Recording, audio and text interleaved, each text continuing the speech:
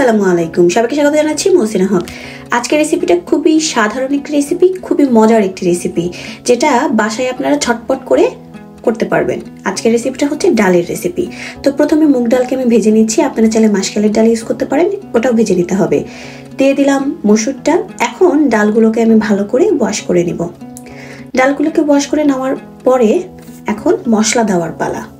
দিয়ে দিলাম রসুন কুচি, পেঁয়াজ কুচি, টমেটো কাঁচামরিচ, ধনিয়া জিরা গুঁড়া, লবণ, হলুদ গুঁড়া, আদা বাটা, তেল। বাস, এই কয়েকটা উপকরণ দিয়ে আজকে ডালটা আমার রান্না হবে। এখন আমি ডালগুলোকে ভালো করে মাখিয়ে নিচ্ছি এই মশলার সাথে। তারপরে প্রেশারে দিয়ে জাস্ট অনলি দুইটা সিটি। বাস, হয়ে গেছে আমার মজাদার ডাল।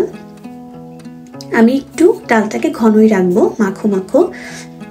এখন ডালে ফোড়ন দেওয়ার পালা।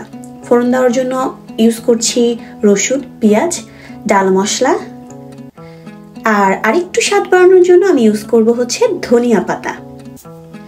তো আপনারা চাইলে ধনিয়া পাতা স্কিপ করতে পারেন, তবে ধনিয়া পাতা আমার ভালো লাগে জন্য আমি ইউজ করছি। এখন আমি এটা ডালের মধ্যে দিয়ে দিব। তো বাস হয়ে গেল আমার খুবই মজাদার এই ডাল রেসিপিটা আমাদের বাসায় কিন্তু সবাই খুবই পছন্দ করে। রুটি, ভাত, পোলাও যে কোনো খাবারের সাথে এটা কিন্তু উপযোগী। তো আপনারা চাইলে ঝটপট এটা বাসায় বানিয়ে ফেলতে পারবেন। তো আজকের রেসিপিটা এই পর্যন্তই। যদি ভালো লেগে থাকে অবশ্যই আমার পেজটাকে লাইক কমেন্ট শেয়ার করতে ভুলবেন না। আল্লাহ হাফিজ।